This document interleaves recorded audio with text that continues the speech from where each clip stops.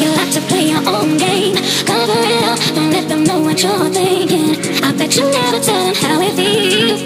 I bet you never even try to be real.